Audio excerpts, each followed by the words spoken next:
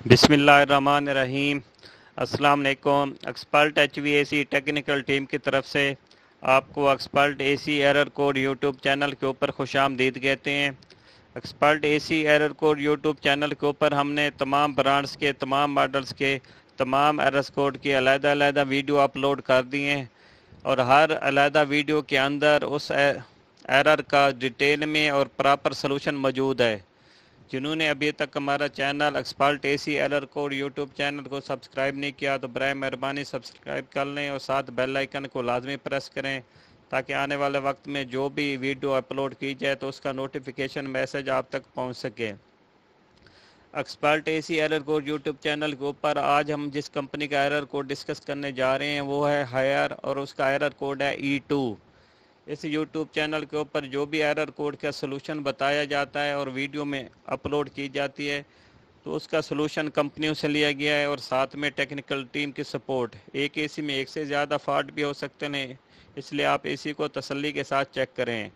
ई two error code जब indoor के ऊपर डिस्प्ले पे आ जाए तो साथ में हमने आउटडोर पीसीबी किट की फ्लैशिंग चेक करनी है।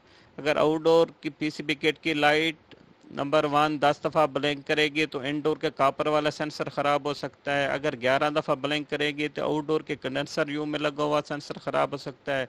अगर बारह दफ़ा ब्लैंक करेगी तो कंडेंसर के बाहर पीले रंग का एम्बियट सेंसर है, वो ख़राब हो सकता है। अगर तेरह दफ़ा आउटडोर की लाइट ब्लैंक करेगी तो कंप्रेसर के डिस्चार्ज पाइप के ऊपर लगा हुआ सेंसर ख़राब हो सकता है।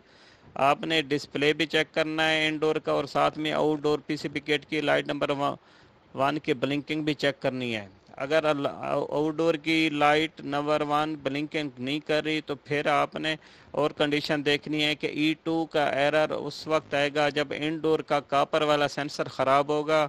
या उसकी तार टूटी हुई होगी, या वो सही तरह से फिक्स नहीं होगा, या उसकी इंडोर पीसी किट में ग्रिप लूज होगी, उसकी कनेक्टिविटी चेक कर लें, उसके रेजिस्टेंस चेक कर लें, नया सेंसर लगा के चेक कर लें। अगर नया सेंसर लगाने से भी आपका ई टू एरर रिमूव नहीं होता तो फिर इंडोर की पीसीबी किट ख़राब हो सकती है। आपका वीडियो देखने का और सब्सक्राइब करने का बहुत बहुत शुक्रिया। आपसे गुजारिश है कि हमेशा बिजली और गैस चार्जिंग के दौरान एहतियात के साथ काम करें, उन काम के दौरान फ़ोन कॉल बिल्कुल ना सुने। और गुजारिश है कि अपनी टीम एसी इंस्टॉलेशन को हिदायत करें कि हमेशा एसी लगाते वक्त ग्राउंड की अर्थ की तार लाजमी लगे हैं, क्योंकि इसे ना लगाने से एसी के शार्ट होने के बहुत ज़्यादा चांस होते हैं।